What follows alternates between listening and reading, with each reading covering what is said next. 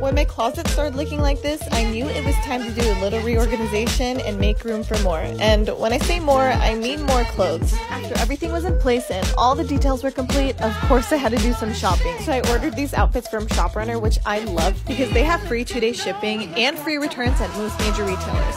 Now I have plenty of storage and there's still space to fit in some new outfits.